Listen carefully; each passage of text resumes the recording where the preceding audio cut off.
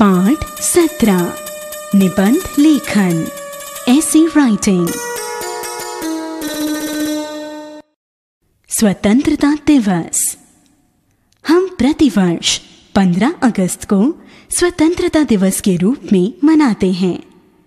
इस दिन हम उन देशभक्तों को याद करते हैं, जिन्होंने देश को आज़ाद करने में अपना योगदान दिया। इस दिन दिल्ली के लाल किले पर प्रधानमंत्री जी तिरंगा फहराते हैं। तिरंगे को 21 तोपों की सलामी दी जाती है। इस अवसर पर प्रधानमंत्री जी देश के नाम संदेश देते हैं। इसी प्रकार का कार्यक्रम सभी राज्यों की राजधानियों में भी होता है। इस अवसर पर स्कूलों में झंडा फहराया जाता है तथा राष्ट्रगान गाया जाता है। जगह जगह अनेक कार्यक्रम तथा कवि सम्मेलन होते हैं। यह पर्व पूरे देश में उत्साह के साथ मनाया जाता है।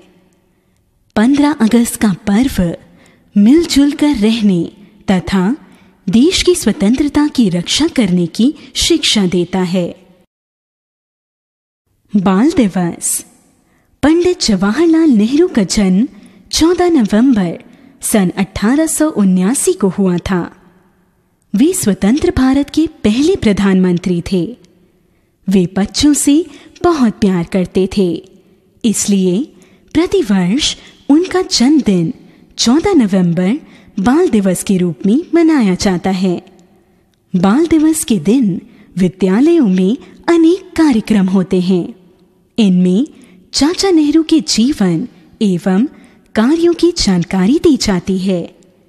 इन कार्यक्रमों से हमें चाचा नेहरू के समान आदर्श व्यक्ति बनने की प्रेरणा मिलती है। बाल दिवस वास्तव में बच्चों का दिन है। बच्चे ही देश का भविष्य हैं। बच्चों की उन्नति में ही देश और समाज की उन्नति है। बच्चों के कल्याण के लिए प्रयास किया जाना चाहिए। बच्चों को भी चाहिए कि चाचा नेहरू के जीवन से प्रेरणा लेकर उन्हीं के समान विद्वान, देशभक्त एवं श्रेष्ठ बने। मेरी प्रिय अध्यापिका, मेरे विद्यालय में दस अध्यापिकाएँ हैं। वे सभी बच्चों को बहुत प्यार करती हैं। मुझे सबसे अच्छी अध्यापिका श्रीमती शीला सिंह लगती हैं। वह हम लोगों को हिंदी पढ़ाती हैं। श्रीमती सिंह बहुत ही मेहनती एवं प्रसन्नचित महिला हैं।